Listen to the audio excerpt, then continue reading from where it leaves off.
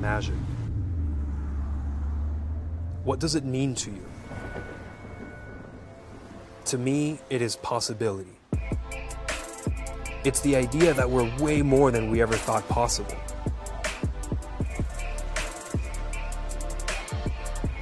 Magic is potential.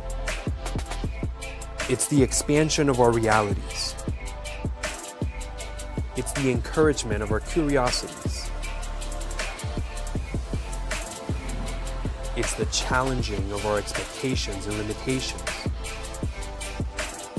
Magic says we can be more, do more, have more. It's an opportunity for us to see beyond.